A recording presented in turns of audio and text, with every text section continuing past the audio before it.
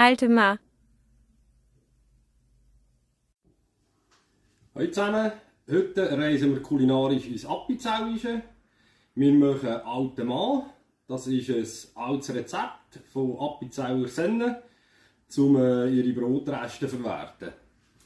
Ich finde das ein mega cooles Rezept. Jeder Appenzeller macht es auch ein bisschen anders. Ich zeige jetzt so, wie ich es gerne habe. Wir nehmen zuerst 200 Gramm Appenzeller, den wir mit der Rösti-Raffel reiben. Klassisch nimmt man Appenzeller Räs. Ich habe jetzt hier in dem Umfeld, wo ich mich bewegen kann, leider keinen bekommen. Darum nehme ich Appenzeller Säurschuhe.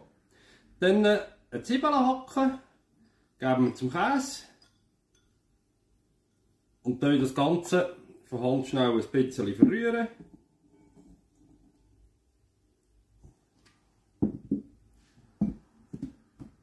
Dann nehmen wir 400 Gramm altbackenes Brot, schön in Würfel geschnitten.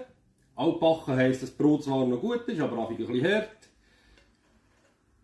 Dann nehmen wir eine Lage drin rein, das machen wir jetzt immer lagenweise. Dann nehmen wir eine Lage von unserem Käse und Zwiebeln. Dann das ein bisschen drüber verteilen. Wieder ein bisschen Brot. Bis wir alles aufgebraucht haben, immer gleich weiter. Kann natürlich auch eine Gratinform sein, muss nicht unbedingt eine Schüssel sein.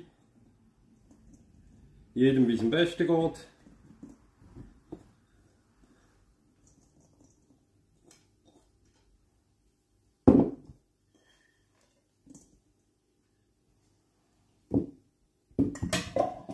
Dann nehmen wir 200 ml Milch zusammen mit 50 ml Rahm und dann das Ganze ein bisschen verteilen drüber, schauen, dass es wirklich schön verteilt, dass alles ein bisschen benässt wird.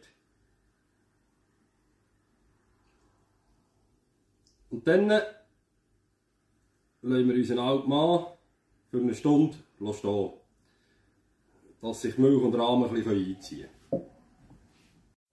Dann erhitzen wir 60 Gramm Butter in einer Pfanne und braten unseren alten Mann drinnen an unter gelegentlichem Umrühren, bis alles schön knusprig ist.